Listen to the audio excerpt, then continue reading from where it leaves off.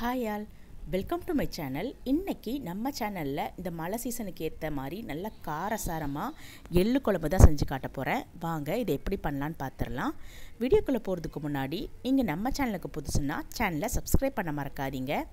ஒரு கடாயில் எண்ணெய் எடுத்திருக்கேன் ஒரு ஸ்பூன் அளவுக்கு. இதில் மூணு ஸ்பூன் எள்ளு ஒரு ஸ்பூன் உளுத்தம்பருப்பு ஒரு ஸ்பூன் கடலைப்பருப்பு எடுத்திருக்கேன். இதை நல்லா ரோஸ்ட் ஆகட்டும்.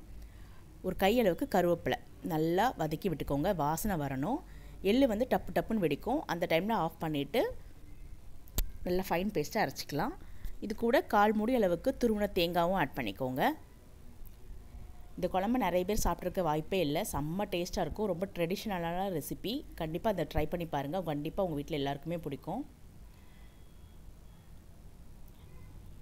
இப்போ அதே கடாயில் திருப்பியும் ஒரு ஸ்பூன் எண்ணெய் விட்டுட்டு கால் ஸ்பூன் கடுகு கால் ஸ்பூன் சீரகம் தாளிச்சிடலாம். இது நல்லா பொரியட்டும். அகைன் ஒரு கை அளவுக்கு கருவேப்பிலை தாளிச்சிடலாம்.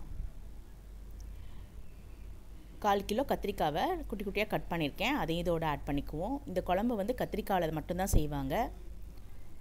கால் ஸ்பூன் மஞ்சள் தூள்.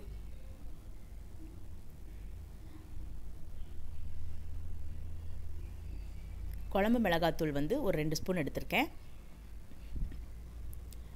தனி மிளகாத்தூள் உங்கள் காரத்துக்கு தகுந்த மாதிரி எடுத்துக்கோங்க. இதை நல்லா மிக்ஸ் பண்ணி விட்டுக்கலாம். நல்லா வதங்கிருச்சு கத்திரிக்காய். இப்போ ஒரு பெரிய எலுமிச்சம்பழ அளவுக்கு புளியை வந்து கரைச்சி வச்சுருக்கேன். அதையும் இதோடு ஆட் பண்ணிக்கலாம். இது புளிப்பாக காரமாக செம்ம டேஸ்ட்டாக இருக்கும்.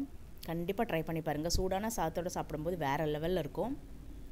கால் டம்ளர் அளவுக்கு தண்ணி விட்டு நல்லா கத்திரிக்காவை வேக விட்டுறலாம்.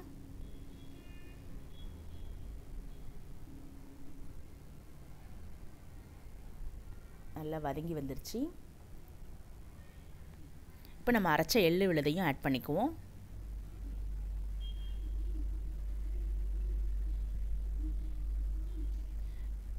கடலப்பருப்பு உளுத்தம்பருப்புலாம் போட்டிருக்கிறதுனால குழம்பு கொஞ்சம் தண்ணி கட்டியாகும். ஸோ தண்ணி வந்து உங்களுக்கு கன்சிஸ்டன்சிக்கு தகுந்த மாதிரி அட்ஜஸ்ட் பண்ணிக்கோங்க. இப்போ அந்த குழம்புக்கு தேவையான அளவுக்கு உப்பு ஆட் பண்ணிப்போம். இப்போ நம்ம ஓப்பன் பண்ணி பார்க்கலாம். பாருங்கள் எண்ணெயெல்லாம் பிரிஞ்சு சூப்பராக ரெடி ஆகிடுச்சு கண்டிப்பாக ட்ரை பண்ண வேண்டிய ரெசிபின்னே சொல்லுவேன். இந்த வீடியோ உங்களுக்கு பிடிச்சிருக்கோம் நம்புகிறேன் பிடிச்சிருந்தா லைக் பண்ணுங்கள் ஷேர் பண்ணுங்கள் கமெண்ட் பண்ணுங்கள்